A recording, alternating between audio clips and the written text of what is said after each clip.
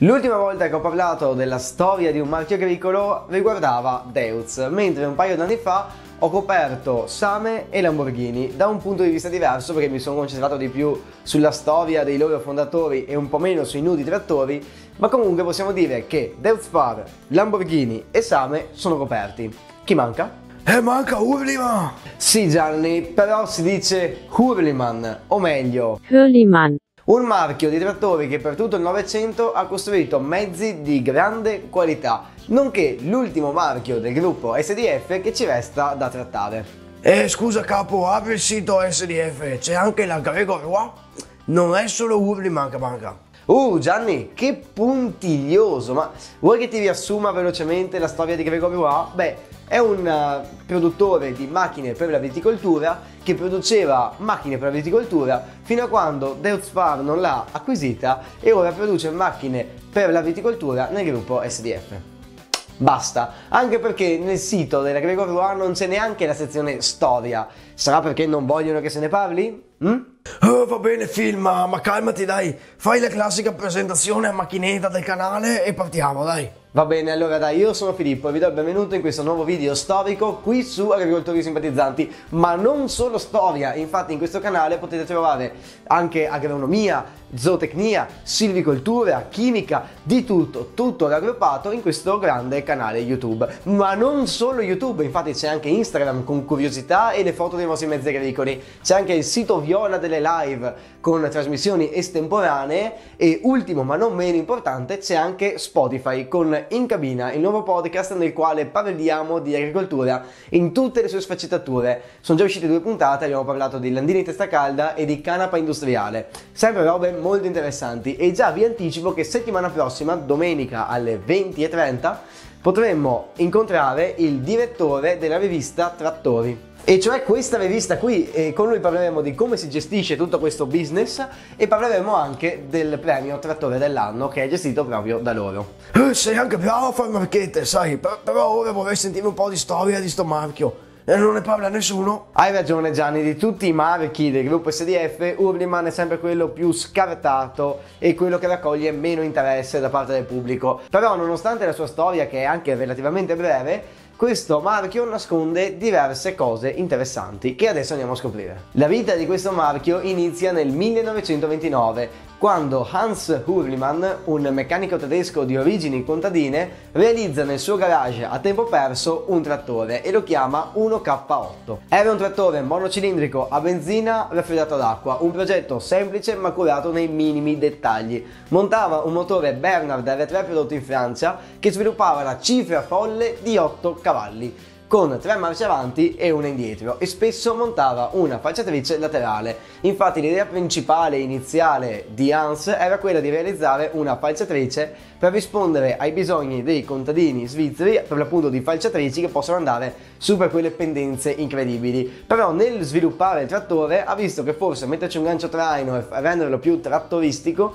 non era una brutta idea, quindi ha fatto un ibrido tra la falciatrice e il trattore. E questo ibrido, in termini meramente economici, non era per nulla male, anzi, ne sono stati prodotti 400 esemplari che sono un numero veramente grande soprattutto per un contadino che si fa i trattori nel capano dei rastrelli. Eh, direi di no, è veramente bravo Hans, complimenti. Sì Gianni, e ci ha anche visto lungo, infatti dopo aver presentato l'1K10, evoluzione dell'1K8 ma con due cavalli in più tanto per mungere ancora di più la vacca del successo, ha preso in mano Cazzuola e Secchio della Malta e ha iniziato la costruzione di un nuovo stabilimento a Will nel canton San Gallo. I lavori per questo stabilimento finirono nel 1939. Un anno veramente proficuo per l'azienda, infatti in questo stesso anno Hans ha depositato il brevetto per un nuovo sale anteriore ad ampio raggio di sterzata che venne montato nel primo trattore 4 cilindri prodotto da Hurliman, il 4DT45 da 18 cavalli con iniezione diretta.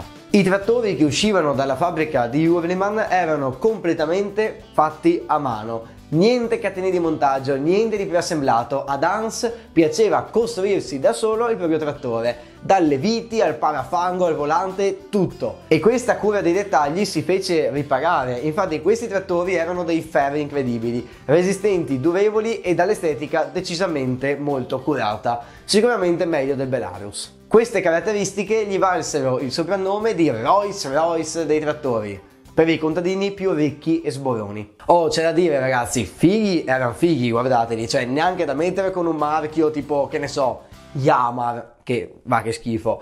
Però proprio anche questo abbinamento di rosso e di verde fa la sua porca figura, niente da dire. Però noi torniamo alla storia, infatti siamo nel 1939 e immagino tutti voi sappiate già cosa succederà ora, o no? Adesso succede che inizia la guerra, Uriman deve far fronte allo sforzo bellico, non fa più i trattori, solita storia. Eh no Gianni, io qui ti frego, infatti gli svizzeri sono... Ah, gli svizzeri sono il paese più neutrale del mondo. Dovrebbero sostituire la croce co- con un lenzuolo bianco, guarda. Esatto, quindi per questa volta in questa storia niente sforzo bellico, niente riconversione da produzione di trattori a produzione di proiettili. L'unica cosa che hanno fatto in fabbrica è stata una piccola riconversione dei trattori usciti in quell'anno. Infatti, durante la guerra, uno dei pochi effetti sulla Svizzera fu la mancanza di materie prime come il gasolio o la benzina e per questo i trattori usciti in quegli anni dalla fabbrica della Hurliman montavano un impianto gassogeno. Scusa, un cosa? Un gassogeno, e cioè un impianto per la produzione di gas a partire da legna o carbone e questo gas veniva utilizzato come surrogato alla benzina. Infatti i classici motori a benzina a gasolio potevano essere modificati in modo abbastanza semplice per funzionare a gas, ad esempio diminuendo il rapporto di compressione e modificando anche il rapporto aria-combustibile. In questo modo si poteva ovviare alla scarsità di petrolio in Svizzera. Ma non pensate che questa qui sia la soluzione delle soluzioni, infatti i motori a gas realizzati in questa maniera non erano neanche da mettere in termini di potenza rispetto ai corrispettivi motori termici. Infatti veramente facevano schifo, però almeno la macchina andava avanti. Poi tra l'altro immaginate dover arare un campo intero con una pila di legna al lato perché devi fare benzina al trattore, cioè alla faccia della deforestazione, sul serio. In pratica per quegli anni si era ritornati indietro al motore a vapore. Però, oh ragazzi, se non c'è brum brum non si va avanti, quindi in qualche modo si dovrà pur trovare, no? Ad esempio a Roma durante il conflitto gli autobus di linea andavano tutti quanti con questi impianti a gas e così funzionavano anche le ruspe, le macchine e i trattori. Non guardatemi male, eh, o così o con la vanga, decidete voi. Ma come ben sapete, nel 1945 la guerra finisce e piano piano questi brutti impianti a gas se ne vanno fuori dalle scatole. E visto che siamo nel paese più neutrale del mondo non c'è nulla da ricostruire a casa Hurliman, anzi decidono di ampliare lo stabilimento per implementare la produzione ed aumentare le esportazioni. Nel 1946 viene presentato il D100, il primo trattore ad essere equipaggiato di un motore realizzato interamente nella fabbrica di Hurliman, con 4 cilindri 4000 di cilindrata e che sviluppavano 45 cavalli. Si tratta di un modello che ha subito diversi aggiornamenti sia estetici che meccanici che lo hanno portato però fino a ben oltre gli anni 60, facendo la fortuna di questo marchio. Nel dopoguerra la produzione di questa piccola fabbrica svizzera fu sorprendente ed oltre alla produzione del D100 vennero presentati anche il D50 da 23 cavalli e l'H12, un trattore da 32 cavalli con un motore molto robusto che poteva funzionare sia a petrolio che a benzina che a gel igienizzante per le mani. Di solito questa battuta qui la facevo con i Rumba Cardi, ma da un anno e mezzo a questa parte la musica è cambiata. Ma non solo trattori e nel 1950 in Hurliman brevettano un erpice ed essendo Hurliman non è un erpice qualsiasi, ma un erpice motorizzato, in grado di lavorare anche 6.000 m2 in un'ora. Nello stesso anno uscì anche il D600 da 70 cavalli, un trattore che riscosse un enorme successo soprattutto nei mercati del Sud America. Un enorme successo sì, ma niente se paragonato al successo del suo successore, il D90. Sicuramente il mezzo più fortunato e conosciuto del marchio, uscito nel 1959 e interamente prodotto a Will nello stabilimento Hurliman. Dal motore alla frizione, alla trasmissione, all'assale, all'impianto idraulico hanno fatto tutto loro, anche i bulloni. Si narra che i bulloni venissero confezionati da Hans Hurliman la notte prima di andare a letto. E a proposito di Hans, proprio questa sua filosofia di mettere davanti a tutto la qualità, tralasciando la quantità, producendo un numero limitato di trattori ogni anno, fece la fortuna di questo marchio, considerato come ho già detto la Rolls Royce dei campi e amato da tutti gli agricoltori svizzeri per la qualità dei loro prodotti. Hans però era anche un convinto innovatore e cercava sempre dei nuovi sistemi e dei nuovi mezzi che potessero anticipare il mercato. Fu così che nel 1969 uscì uno dei primi trattori ad alta potenza del mondo, raggiungendo i 155 cavalli con l'Urliman DH6, equipaggiato con un motore 6 cilindri e con la prima presa di forza idraulica da 540 o da 1000 giri al minuto. Mentre pochi anni dopo furono introdotte nuove trasmissioni a 6 marce e 3 gamme che integrate ad un sale anteriore ZF permettevano di creare dei trattori a trazione integrale. Mentre per dimostrare ancora una volta la voglia di questa azienda di innovare, nel 1972 venne presentato il primo trattore con motore turbo, con il D115T, mentre qualche anno dopo, nel 1976, con un anticipo abissale e quasi eccessivo, come dimostrato dal fatto che rimase un prototipo, uscì il T14000, un trattore da 150 cavalli con una trasmissione a variazione continua. Cioè ci rendiamo conto, variazione continua nel 76. Fend chi? Chi? Scusa, non ho capito. Mm? Varati.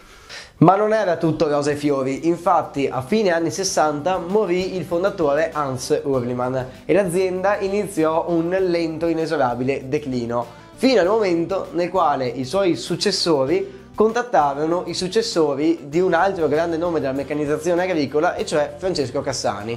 E in quel momento, nel 1979, nacque la Same Lamborghini Urliman. Infatti l'azienda di Treviglio aveva già acquistato Lamborghini nel 1973 e con l'acquisto anche di Hurliman il gruppo SLH divenne il secondo produttore europeo di trattori. In tutto questo sì, Hurliman smise di esistere come realtà singola e a sé stante, però guardate il lato positivo, il marchio continua ad esistere i lavoratori sono ancora all'interno della fabbrica e dalla fabbrica continuano ad uscire trattori. Pensate che brutto se Hurliman fosse fallita e se la fabbrica di Will fosse stata acquistata da un produttore di padelle antiaderenti. Cioè, non una fine gloriosa direi, eh. Da questo momento in avanti i trattori di Hurliman saranno la copia color verde oliva, colore del tutto discutibile, dei trattori di Lamborghini e di Same, perdendo quindi la dimensione artigianale che contraddistingueva questo marchio ed iniziando la costruzione di trattori in serie e con pezzi preassemblati. Per questo Hans si sta ancora rivoltando nella tomba, ma che ci vuoi fare? Questa è la vita.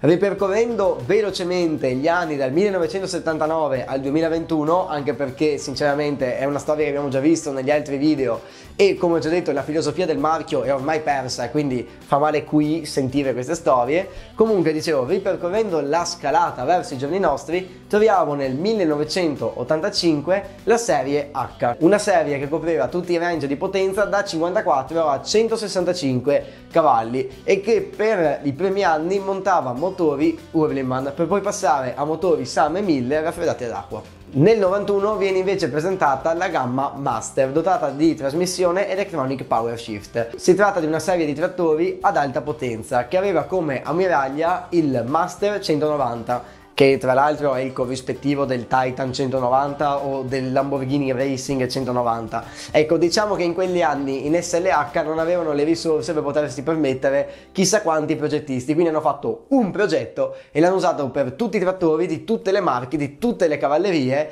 e quando vi chiederanno cosa vuol dire ottimizzare, mostrategli questo e andate sul sicuro.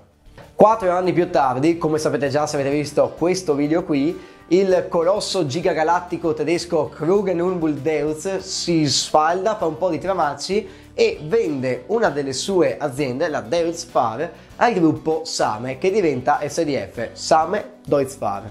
E già dal nome si intuisce la grandissima importanza che aveva Hurliman per questo gruppo. E un po' dispiace perché nonostante sia un'azienda piccola piccola dalla storia tutto sommato noiosa, porta con sé un bel bagaglio di valori. Infatti questi Rolls Royce dei campi non erano solo dei trattori dall'estetica molto curata, ma dei contenitori all'interno dei quali era celata la filosofia di Hans Hurliman, una filosofia che è incompatibile col mercato che si è creato negli ultimi anni e se il mercato non è stato in grado di mantenere viva questa visione dell'industria, spero almeno di esserci riuscito io. Infatti vi chiedo quanti di voi prima di questo video conoscevano la robusta eleganza di trattori Hurliman di una volta? Oh, guarda, io non sapevo manco che esistesse questa ditta qua, la Hurliman, però devo dire che è figo sapere qualcosa di nuovo, cioè lo racconterò al bar del paese, prossima volta che vado a guardare la partita che, che, adesso siamo pure passati in semifinale, pensa te. Però dimmi una roba, do, dopo il 95 che è entrata la Deutz,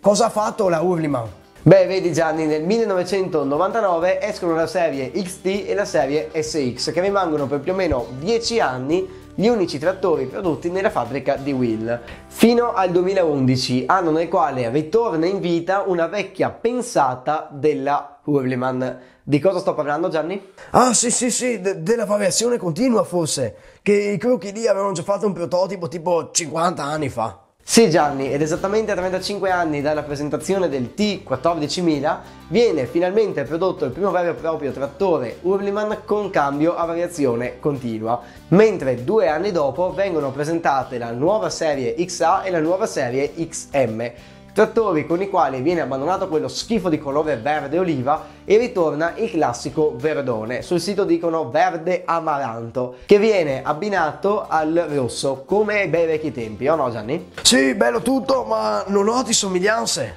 Somiglianze con cosa Gianni?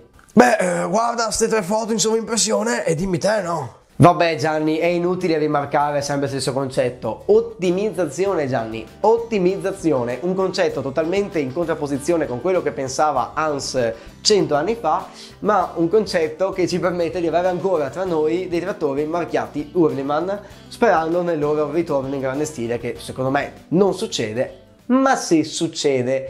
E con questa speranza per il futuro si conclude anche questo video storico. Io vi do appuntamento a settimana prossima con il podcast in cabina con il direttore di trattori che verrà poi ricaricato in settimana in questo canale poi ci vedremo domenica dopo con altri video altre cose molto interessanti per il resto vi do appuntamento su Instagram nel quale ogni giorno escono nuovi post o con le vostre foto dei vostri mezzi che potete inviarmi in messaggio privato o con curiosità a tema agricolo. Poi per il resto c'è anche il sito Viola delle live dove vi ho detto potete vedere trasmissioni estemporanee o le trasmissioni del podcast che poi viene ricaricato su Spotify. Podcast in cabina, podcast in cui parliamo di agricoltura, ormai l'avete sentito in tutte le salse. Io vi saluto, vi invito a cliccare i video che stanno comparendo qui in sovraimpressione perché sono video miei fatti da me e molto interessanti. Ve li consiglio. Per il resto ci vediamo domenica prossima. Ciao!